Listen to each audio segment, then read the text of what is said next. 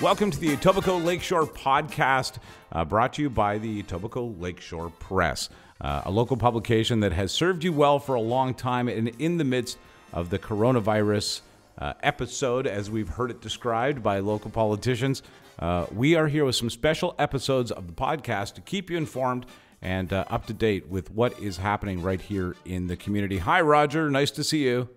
Good to see you too, Mike. I miss wearing shoes. I just wanted to say that. I'm not wearing shoes either, or Yeah. socks. I, Yes. I- we will not be able to wear shoes by the time that we're allowed to again. Just remember that. uh, and there will uh, be a boom in the shoe industry. there, you know what? Maybe we should invest in shoes now. We should all go buy new shoes Yeah. and, and eat out at a local restaurant. Let's talk about that for one second before we have today's guest on. Uh, by the way, tell us who today's guest is. This is important to the community. Oh, 100%. Yeah, it's uh, Christine Hogarth. She is the member of provincial parliament for Etobicoke Lakeshore. And uh, we had uh, Mark Grimes on. That episode also dropped uh, today. Uh, Councillor Mark Grimes with some great advice for families right there in the community. I'll recommend you have a listen to that. And uh, yeah, it's uh, it's one of these things where we're trying right now, even from a remote uh, perspective, like we're doing social distancing, to keep the podcast going, and even a little more frequently uh, than normal. So I appreciate you putting the time in on that, Roger. Oh, it's my pleasure. Yeah, thank you for making yourself so available. I think, like you said, it's really important. I think we need to be present more than ever, and to increase the frequency of these podcasts, uh, I think is crucial. I think it's a great way to uh, to stay engaged with the uh, the Etobicoke Lakeshore community, but also from a, wider community throughout uh, Toronto and beyond.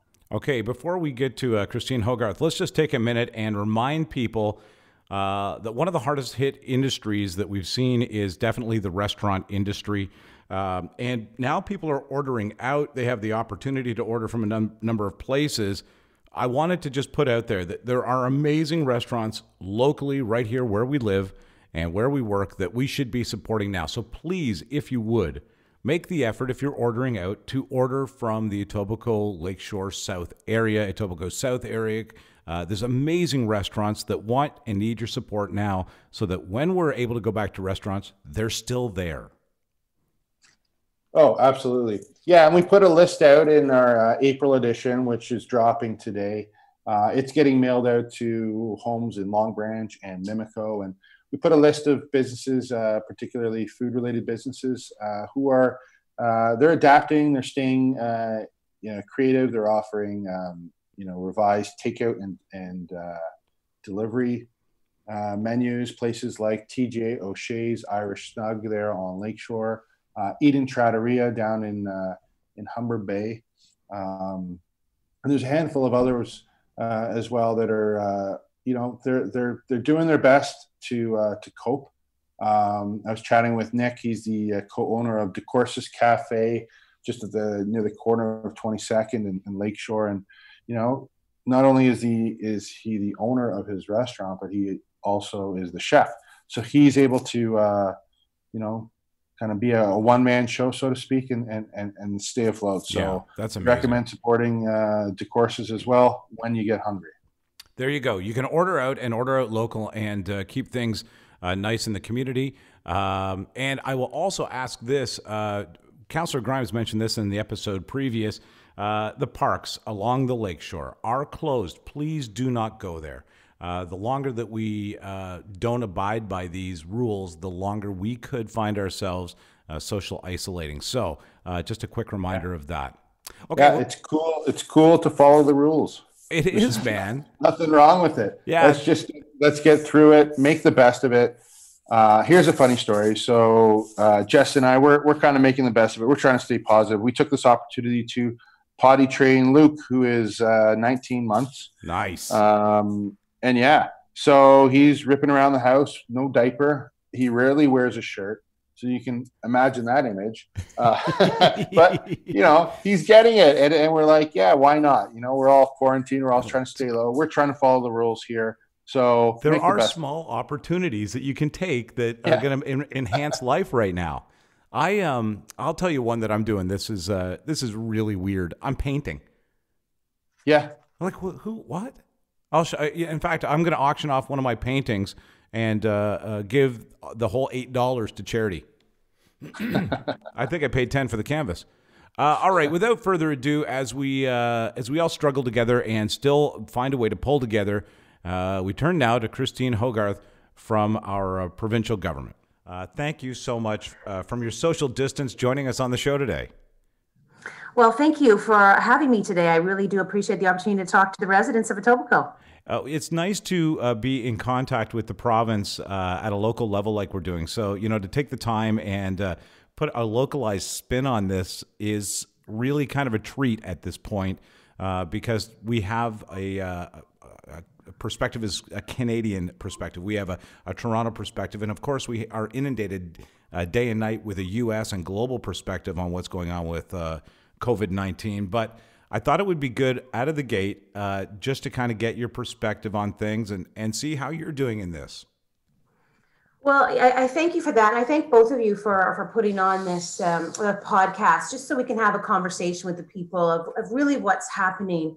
And I know we always get our news sources, and sometimes we're inundated with so much news that uh, we need we need to actually leave our homes. So uh, yeah because it's it, what I find in the day because I am working from home. I, I do check in with my office periodically, but the day doesn't end, right? It's not a nine to five. This is what we want to make sure is that if people have a question, we know that there's urgency behind those questions. So we want to make sure they're answered no matter what time of day. So sometimes people may even get an email from me at one in the morning as a response, just because, you know, I just want to make sure that uh, people's minds are at ease because we have to look after each other in this time, right? It's not just our day to day, it's our minds. It's our minds too. So we have to look after our minds. And people, there's so many questions out there. So because COVID 19 has actually changed the world, it's changed the world and it's changed our community in different ways. And yeah. I'll tell you, we, we hear from concerned people about their health and safety. And we, are, we're, we have people who are concerned about the capacity of our medical system and others who just want to know how they can help to provide for their family during this unprecedented time. It's, you know, things changing hour by hour, and it's difficult to know what to do. I was just going to say it is always changing the uh, information. Some of it is very consistent, and of course, we want to get that message out there. One of the things I noticed, and I, I wonder about your perspective on this. I'm really proud to be Canadian right now. I take a look at other countries in the world that are not able to uh, rein this virus in, and a lot of that has to do with social compliance. And as Canadians, I, I actually have to commend us. Uh, so far, we seem to be on the list of countries doing better than most at this. Uh, well, you know, we do have a, well, we are looking at every aspect, but the next two weeks are going to be some trying times for our community. And that's why you've probably heard the tone and the messaging from the Chief Medical Officer of Health and uh, our Premier and our Mayor.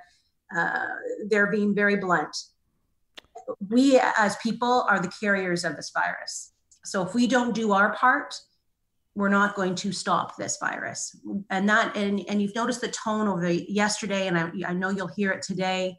Uh, we have to do our part, and our part is to social distance. You know, we, I get, I get emails from people who live down at Humber Bay Shores quite a bit because of all these people in the park, and they're concerned. We, uh, they go walk their dog, or they just want to get some fresh air, but there's so many people.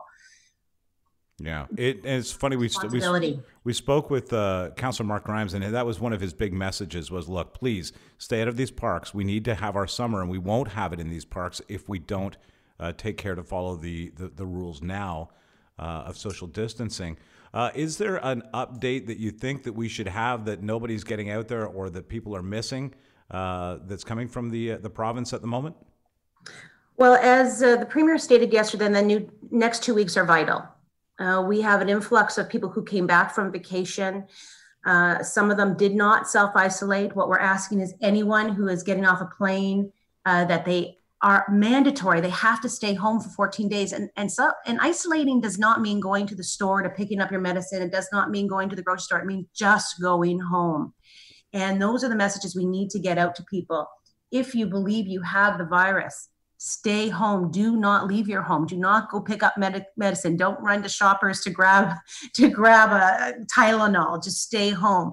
That uh, that's the only way we're going to battle this. It, it is an enemy out there and um, we we as people have a responsibility to look after our friends families and our neighbors. Uh, it's so funny that you touch on this uh, point of people that came back and then didn't self isolate. It's it's a very frustrating thing for people.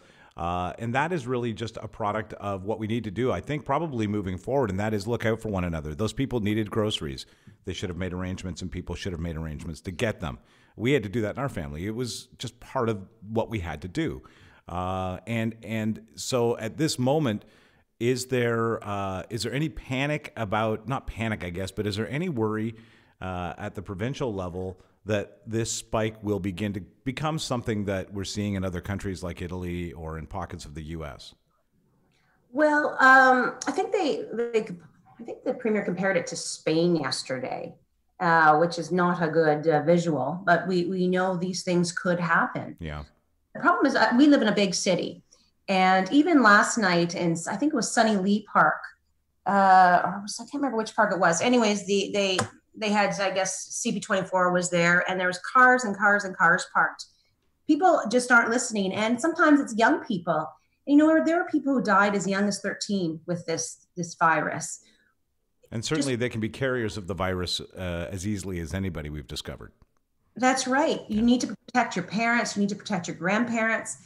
Uh, we're not invincible. It doesn't matter what age you are. You know, I have two stepdaughters. One's 18 and one's 16 you know they they're doing their social distance they both work at corner stores so they actually still go to work every day but you know they're being careful and uh, you know you, you this is a time for young people to stay home and maybe pick up the phone i don't know if they even know what a phone is but they can they can certainly call their grandparents and call their parents just say hey i'm okay i'm i'm doing my part uh, I had to get my dad to show me how to use Zoom, so don't worry. Uh, Grandma and Grandpa probably know what they're doing already. What are you hearing in the way of questions from uh, residents uh, in your area?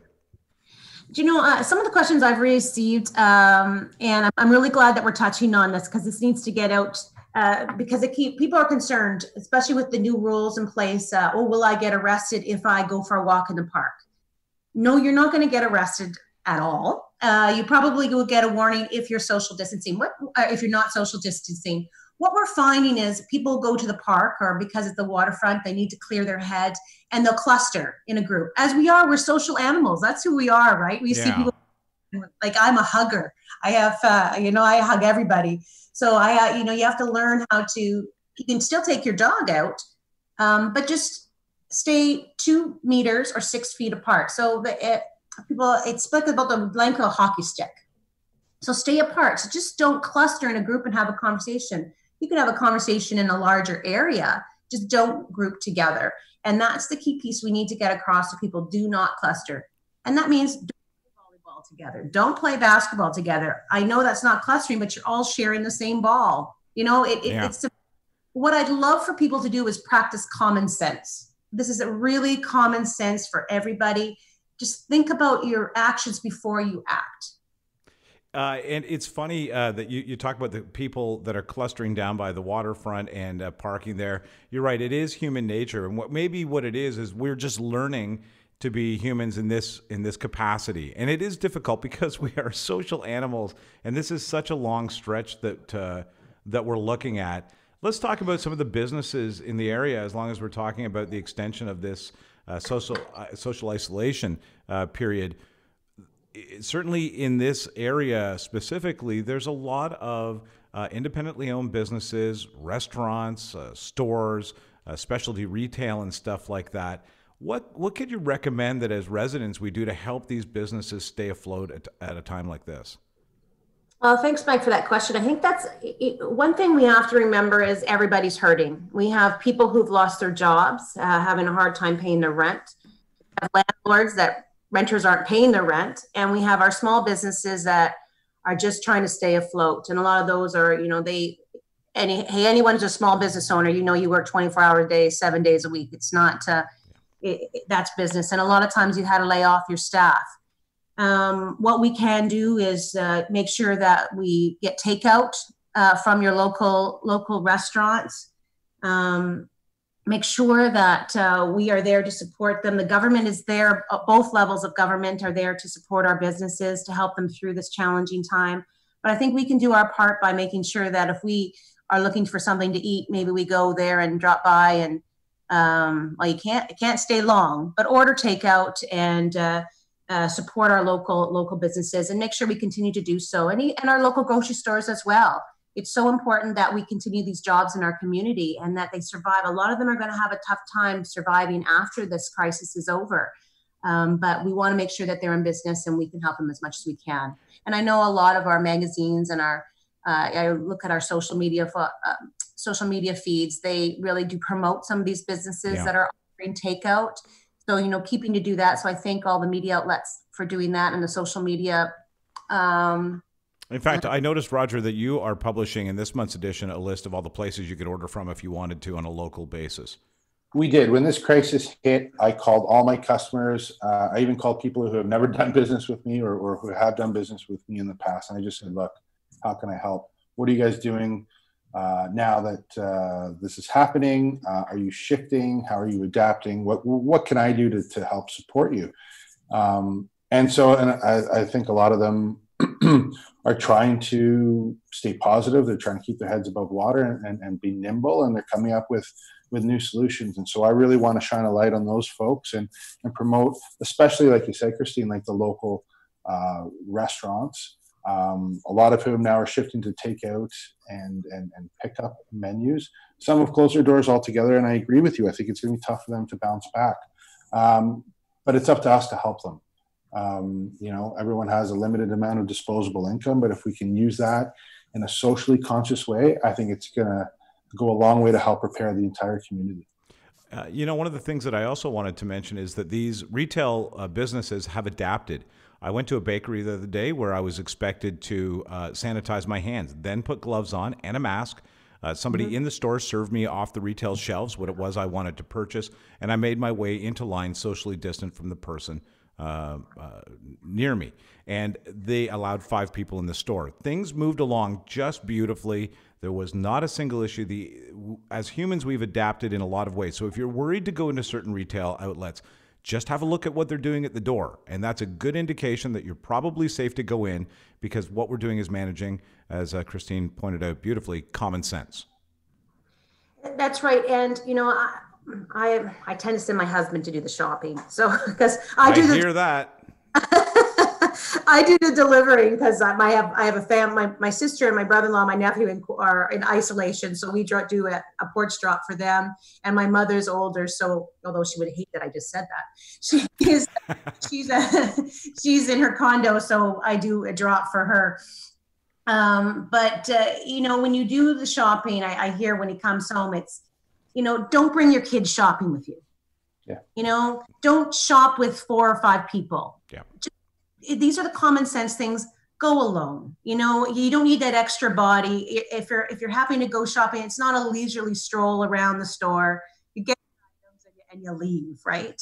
Yeah. So it, it's a little bit of, and I think people need to be kind and people need to be patient. Uh, the patience is a key one because when you see some of you see people with like three kids in tow and you're going, why, why are your children here? You know, uh, you have to, you have to, maybe they don't know, maybe they don't know they shouldn't be bringing their kids out, or maybe they don't have anyone to watch their kids. But uh, I, I just recommend people, if you are going shopping, please alone and leave your children at home. Uh, now, what about uh, manufacturing on that side of things? This is a uh, there's no no shortage of manufacturing uh, in the area that you represent. Um, is is there a way that we can reach out to help those people uh, in business and and those businesses keep employees uh, happening?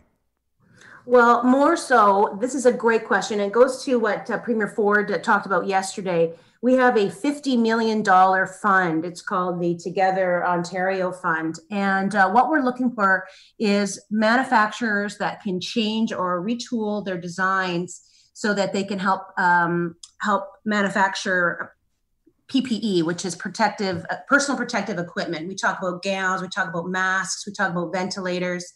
We have companies that are coming from everywhere. And Ontario, you know, might be the epicenter where we actually will produce these products for Canada. Uh, so we're really pushing this. And if anyone, if there is any business in Etobicoke that can change the way they do business, to manufacture any of these key supplies. We are in need. The country is in need. The world is in need. So um, there is a, a website, and I, will I'll share some. And if anybody wants to go call my office or go to my website, we have these listed. Um, it's it's together. It's it's Ontario together. It's uh, I think it's uh, Ontario.ca Ontario together. And what we're looking for is ideas. If if you can produce masks, let us know. And it's a central portal that uh, we're funneling all information so they can assess what can be done. And so many people of Ontario, uh, so many Ontarians have stepped up to the plate to say that we can do this. You know, if you have a 3D printer, there's work for you to do. So let, let us know where you can help, and it's through Ontario Together. I could just jump in there to add to that, Christine. I think you're exactly right. I think what we're going to see, if if it hasn't happened already, is this grass move, grassroots movement of, of local or craft manufacturers. Uh, and, and, it could even be the guy uh, with the 3D printer in his home, like Stu Bailey of New Toronto, for example. He's a friend of ours, and uh, he is producing um, face shields right now and dropping them off at local uh, medical clinics, walking clinics on Lakeshore. And, and I think there's this movement of, of, of these 3D printers, these makers who are retooling, like you say, and devoting their time now to making these, um, you know, PPE uh, devices that you had mentioned. And I, I kind of hope that when the dust settles here, that we might end up with uh, a new and revitalized local manufacturing industry in Ontario. You know what? I think that would be amazing. You know those are such great jobs and they're long-term jobs. So we want to make sure and i and you know there's there's there is money there if you need the help to retool your your your your your site your business to to produce what you need to do um, and they will they're returning this around pretty quickly because we need we need ventilators we need this we want to make sure our frontline workers are protected we do have enough supply. The premier actually has gone to the site, the warehouse, to check out what we have. Um, but this is going to get worse before it gets better. Mm-hmm. need to be honest with people. So we will, if we don't act now, we will run out of equipment. So we need to, I know we have 10,000 ventilators that are coming to Ontario in the next couple of weeks. And uh, we have people manufacturing, like Bruce Power yesterday gave 600,000 masks. That was incredible. You know, that have these things. So if there's like a nail shop, a dental shop, yep. this is how you can help out your community members. Uh, uh, you mentioned a gentleman named Stu's making visors for for local doctors. All these little people. This is this is this is our Ontario spirit. You know, this is our community spirit. People who are giving uh, giving equipment that they don't need today. They might need it in the future, but they don't need it today. But there's somebody on the front lines who is saving a life who needs that material right now. So I thank all those people. I thank those people from the bottom of my heart for thanking and thinking about others. Um, there's no sense that those masks sitting on a shelf for another couple months. Uh, it is incredible how people will come together on this front. Uh, it, it, it is, I hate to make the comparison, but it is uh, a wartime effort in the in the regard that we are trying to save our own lives. And uh, so, for people to step up, and some of the innovation that I have heard about just over the last two or three days, right out of Ontario here, from people creating apps to uh, people working on, uh, you know, medical visors, like you pointed out, all of this sort of stuff. Our focus uh, is it, you can have uncertainty, but you can also channel that uncertainty into creating certainties that you are a protecting somebody, that you're keeping people employed please go and check out the site. I'm there right now. It's really well put together. Ontario.ca uh, slash Ontario Together.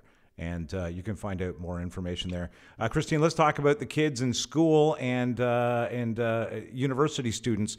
This, uh, as a parent, is the, one of the most impactful things that has occurred because of the coronavirus. How's the province looking at this right now? Well, just the other day, we extended the uh, school closures until May the 4th. Um, and we, we did that with advice from the Chief Medical Officer of Health. You know, looking after our children is our number one important. And, it, you know, it's so important. And kids, kids, well, it's hard to keep kids apart from one another. Yeah.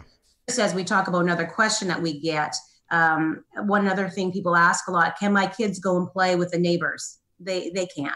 Um, you know, they can play with their siblings, but they should not be playing with other kids in a, in a park. So I just wanted to toss that in um, when we talk about our children. So Minister Lecce has announced the second phase of our education program, and uh, we have it at ontario.ca Learn at Home.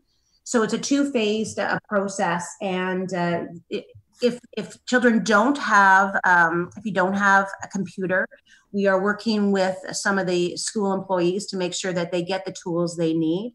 But we want kids to continue to learn. Uh, i think it's important to keep their minds busy it's uh, and active and continue to learn. We hey we our, our kids will remember this forever but we want to make sure that they they have their education moving forward. So there's a uh, portal called uh, ontario.ca learn at home. And there's the educational content that was designed by teachers. Uh, so it's not designed by politicians. It's designed by teachers to make sure that the kids get the best learning experience uh, that they can get. And when it comes to our post-secondary school as we know that everybody is facing some hardship we have forgiven our OSAP loans. So they're going to be on hold. And it's not like your it's not like your bank and the, and your mortgage where you have to end up paying your interest to the down the line. We're going to make it interest free because that you know anyone who doesn't pay their their bills, you know how the interest just keeps accumulating and accumulating. Yeah. So we're going to interest free until September, just to give people a little bit of um, breathing room over the next couple months. As we all know, it, you know sometimes it's good to know how to pay a bill, but you know, sometimes it's good to know what it feels like not to pay a bill so you can put yourself in somebody else's shoes. And it's pretty stressful times when you can't pay those bills. So we want to make sure that. Uh, uh, that our young people and, not just young people all of ages who go to school don't have to have that that little bit of anxiety on their shoulders i can i can, I can throw this little bit of uh, parenting learning advice in if you have a student learning at home try not to be too loud doing your podcast because apparently that just ruins everything for uh, getting a good lecture in. That's what my daughter expressed to me. Uh, I will point out at the Learn at Home uh, section of the Ontario website, once again, ontario.ca, Learn at Home, a great resource. Uh, right at the top, it says to fight the spread of COVID 19, Ontario public schools will remain closed to teachers until May 1st and to students until May 4th. And according to the declaration of emergency, this can only be extended for 14, one 14 day period at a time. So if you're wondering, what is going to happen moving forward. Know that the province can only uh, do this 14 days out, and uh, so they're doing the best they can in that in that regard as well. But uh, just a wonderful resource. This was uh, a really good, really good place to begin here. And uh, of course, to all parents struggling with grade six math again, like I would do, we're all in it together. Uh, how can we uh-huh. stay informed overall, Christine? Well, the best place is ontario.ca backslash coronavirus updating that daily. I also update. Uh, I also have a my Facebook page. If anybody, it's uh, Christine Hogarth EL. EL stands for Etobicoke Lakeshore. I update it probably about four times a day. As soon as I get a message from the government, I'll post it on my Facebook page because social media is really the fastest way to get that information out to people. So if, if anybody wants to join my Facebook site, we also send out a weekly newsletter to anyone we have an email account for that gives an update. We have an update going out today to, I think we have a, a couple of thousand people on the list, which is still a small number compared to the number of people in the riding. So if you'd like to be added to my distribution list, just give my office uh, a call. You're probably going to ask me for the phone number of my office, and I probably don't know it. it's uh, 416 259 2249, or you can email us at christine.hogarth at pc.ola.org, and we're happy to keep people apprised. Uh, we do a weekly update unless something urgent comes out, and we'll send that out immediately. Social media is probably our best bet. Uh, to get something quickly. Um, and you know, the Ontario site. It's not just it's not just Ontario site; it's also the Canada site and the Toronto site. You know, this is not just an Ontario problem, it's the Canada problem and and it's also a Toronto problem because we will see more we will see more and I'm going to be honest, we're going to see more deaths in Toronto than anywhere else because it is a big city. Right. Um, so that's just the unfortunate fortunate side of this virus. Um, I'm just going to ask everybody, please use common sense. If you have any questions, call us, email us.